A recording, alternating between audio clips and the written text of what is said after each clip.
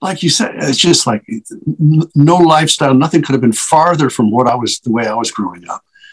And so it was just fascinating to hear these songs about the beach and the girls and the cars. We had none of that. Yeah. You know, the girls, we had some girls, but they didn't have, they didn't have anything to do with me, believe me. I was a little nerd, still am.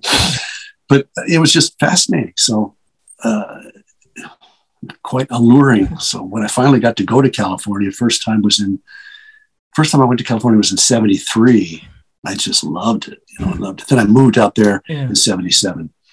Now, Matt, Matt and Greg talked about Matt and Greg Coffee, um, who you were uh-huh. on their show with, talked about how when I think it was at least Matt. I don't know about Greg, but Matt talked about how, and I know Darren has mentioned this in other interviews he's done, where he got made fun of for listening to the Beach Boys music and where he grew up.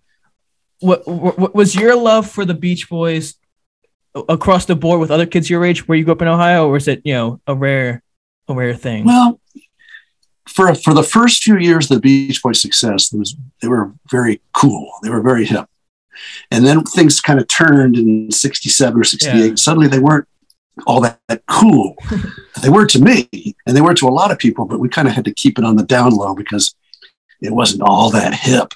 But they really turned around, and now their music obviously is just persevered and is is so well loved.